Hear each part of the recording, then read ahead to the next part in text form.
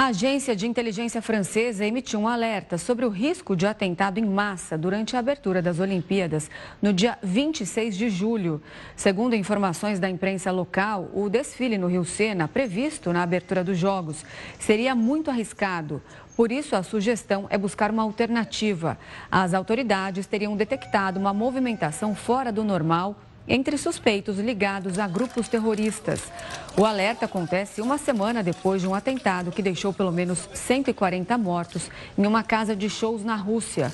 O governo francês ainda não se manifestou sobre o alerta e tem garantido que o país está preparado para realizar o evento.